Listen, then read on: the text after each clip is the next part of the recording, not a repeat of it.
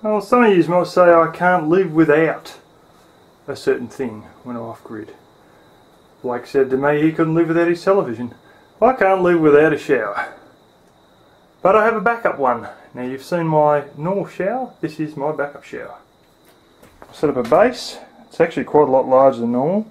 Usual's 825 by 825 mil. This is 1000 by 1000 which is a metre by a metre. I've just used a bit of crappy clear plastic around the outside. But I have a 10 watt solar panel through the cement sheet there which goes to this little charge controller. I can't remember if it's 6 amp or 8 amp but either way it's overkill for what it is. Runs down to this battery which yes I know is just basically ready for scrap metal. Um, and in this system I have two water pumps both 12 volt. Now these cost you about, I don't know, 20, 25 bucks each. Um, and they come with a cigarette lighter end and a very waterproof switch and decent heavy cable. Um, and ultimately end up going up to the shower head that you saw at the start of the video. I've got two here. I can pour water, I mean this is the floor, that's my foot there. I can pour water straight in this tub and by hitting this button here, this one here will pump away up to what was a clean garbage can um, that I modified.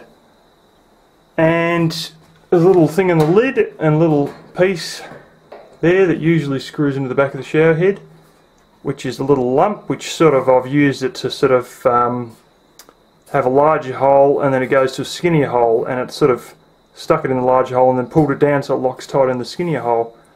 Um, and I have a very tall stand and some cement and a three ring propane burner heating that up and if the water pump overfills this container then it'll overflow out of this little thing, complete with a prop.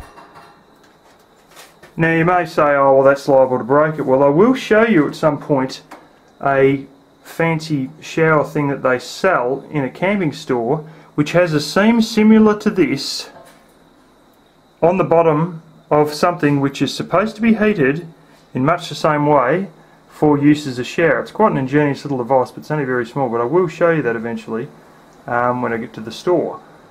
And as for the thickness of the steel, well, basically I've got pots inside that are no thicker than this anyway.